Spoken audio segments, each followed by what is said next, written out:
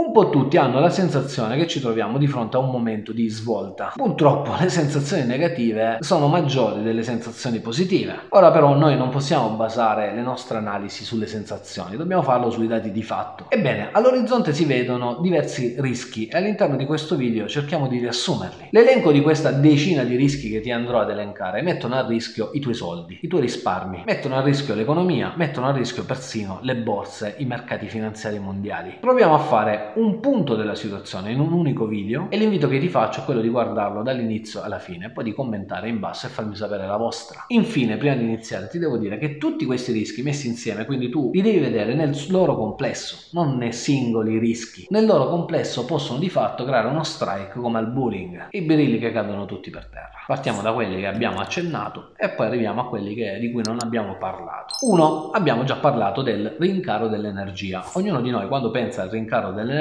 pensa alla bolletta di casa che aumenta. Ma di fatto questo comporta il rischio numero due che è l'inflazione. Cioè se le bollette di casa tua aumentano ma aumentano pure le bollette delle aziende, automaticamente loro che vendono servizi e prodotti aumenteranno il prezzo di vendita e tutto ci costerà di più. Bene, ma di questi due argomenti abbiamo già parlato ampiamente. Rincaro dell'energia, inflazione. Tutto ciò messo insieme porta al terzo rischio. Qual è il terzo rischio? Il terzo rischio è che l'economia venga contratta, cioè si fermi, si stagna non si muove. Altro che ripresa, boom economico. L'economia si ferma, l'occupazione si ferma e i prezzi continuano ad aumentare. Questo è lo scenario peggiore. Se i prezzi crescono e cresce anche l'economia, beh, per i manipolatori di professione, coloro che stanno creando tutto questo scenario, diciamo che tutto ciò è il danno minore. Ma se tutto quello che questi signori stanno creando porta a una crescita piatta, perché tutti i soldi vanno verso i mercati finanziari e non nell'economia reale, e aumentano di più i prezzi, capite che è uno scenario un mix catastrofico. Quarto punto, mancano i rifornimenti e gli approvvigionamenti. Oltretutto, anche qualora ci fossero rifornimenti e approvvigionamenti, i governi, gli stati, il potere centralizzato riesce con Green Pass e cazzate e minchiate varie a complicare il sistema degli approvvigionamenti e dei rifornimenti più di quanto non lo sia. Considera che il blocco dei rifornimenti e degli approvvigionamenti relativi alla produzione di nuovi componenti energetici hanno causato già dei blackout. Considerate che se ne ne sono accorti, guarda questo articolo, anche quelli di Repubblica, attenzione, se ne sono accorti pure loro. La Cina venerdì scorso ha dovuto aumentare la sua produzione di carbone per far fronte già ai blackout che hanno colpito tutta una serie di regioni, aziende e cittadini cinesi. 5. La scarsità. La scarsità cosa produce? Produce un aumento del costo delle materie prime, anche di questo ne abbiamo parlato. Il caso più eclatante è quello dei chip, che di fatto sta bloccando il settore delle auto, ma non è ha colpito solamente questo settore, sono stati colpiti colpiti più settori. Questo però può portare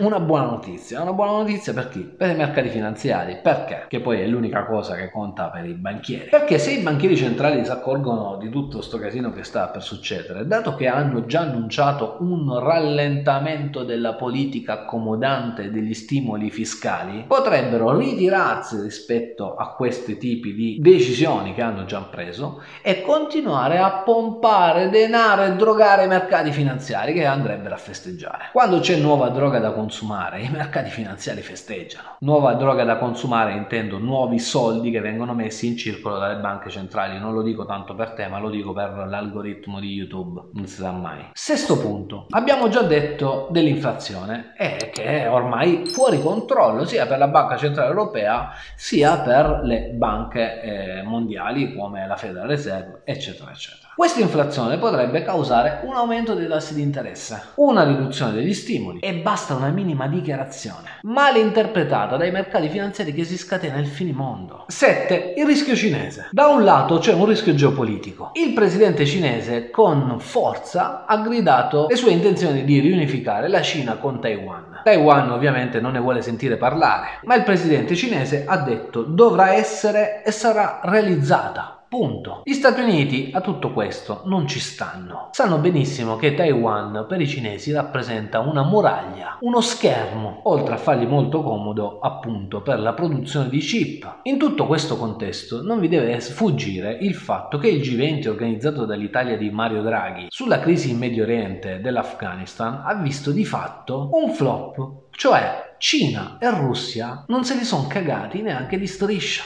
E questo non è un segnale di poco conto. Sempre dalla Cina arriva l'ottavo rischio, che è il rischio di cui abbiamo già parlato all'interno di questo canale della crisi immobiliare, il rischio del default del colosso immobiliare Evergrande. Il problema è che in Cina il rischio immobiliare non colpisce solo questa azienda, ma ne colpisce molte altre. Il nono rischio è il tetto del debito americano, di cui abbiamo parlato all'interno di questo canale e che i repubblicani insieme ai democratici al momento hanno rimandato, cioè hanno risolto, hanno detto rimandiamo tutte le decisioni a dicembre di quest'anno. Sta roba qui del tetto del debito è una cosa che tiene in suspense tutta l'America ogni anno, ma questa volta potrebbe essere diverso. Io mi auguro di no e credo sinceramente di no, ma vi ricordo il ritorno del biondino di Donald Trump che parteciperà molto probabilmente alle elezioni di metà termine del prossimo novembre 2022. Hai capito bene? Ci sarà il ritorno di Donald Trump 2 la vendetta. Biden attualmente se la passa male. Vediamo che cosa accadrà. Il decimo rischio è la spaccatura dell'Unione Europea, di cui non stiamo parlando in questi giorni perché ci sono altri argomenti che stiamo trattando all'interno di questo canale. Abbiamo visto la spaccatura tra i paesi dell'Est e i paesi come la Francia, la Germania e l'Italia per quanto riguarda il fronte immigrazione. Ma la battaglia non è sul fronte immigrazione, la battaglia è sul fronte della libertà. Dal mio punto di vista questi piccoli paesi saranno convinti dai soldini o saranno convinti diversamente, insomma, a accettare le condizioni del futuro dell'Unione Europea, cioè l'ennesima cessione di poteri ad una struttura sovranazionale che non ha nulla a che fare con i paesi stessi. Poi abbiamo le elezioni in Francia e non è assolutamente detto che Macron venga riconfermato. Lo scenario potrebbe cambiare enormemente anche per quanto riguarda il destino dell'Unione Europea. Tutte queste sono situazioni che si possono concretizzare come si possono non concretizzare, ma questo è lo scenario attuale. Con questo video ho provato a farvi, spero che sia utile, aggiungete voi qui in basso nei commenti eventuali altri rischi che vedete all'orizzonte, un punto della situazione su una serie di argomenti che abbiamo trattato all'interno di questo canale e tutta una serie di argomenti che speriamo non dobbiamo trattare nei prossimi mesi all'interno di questo canale. Mi auguro sinceramente che questo video vi sia utile come spunto di riflessione anche per poi prendere delle decisioni vostre personali per quanto riguarda i vostri risparmi, il vostro lavoro lavoro e la vostra vita quotidiana. In fin dei conti, queste analisi che possono sembrarci molto distanti e molto lontane da noi e dai nostri interessi devono effettivamente servire solo a questo.